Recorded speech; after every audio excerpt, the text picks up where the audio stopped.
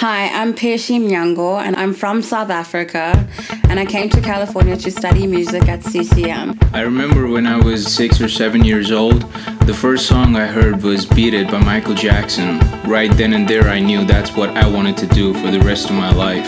I met some teachers and I got to know the staff and it was really amazing. As soon as I'd finished that tour, I knew that I wanted to study here and I was so right. It was a completely different environment. It was the environment I, I was dreaming about and I finally was living it. Came here and after the second day, I already knew it was the best choice I ever made in my life. My most favorite part of this school is the teachers and their passion. They will really understand what you want, not what they want to teach.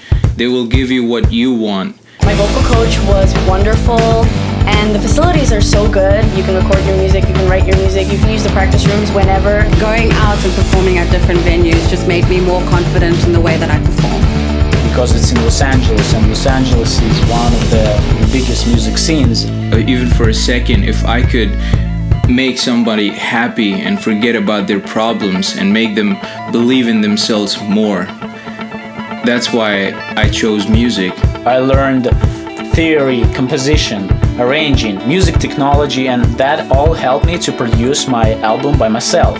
CCM offered scholarships to international students, and that really helped me to fund my education. It, it really fits in right to what I wanted, and I'm really happy that I found it. My advice is to go for it. Focus on your passion, focus on your music. Become a better musician every single day. Practice, practice, practice. Work hard, but have fun because it's a music school. It doesn't matter where you're from, what your background is. If you're willing to work hard and you want to become a musician, this school has everything that will make that possible. All you need is your heart and hard work.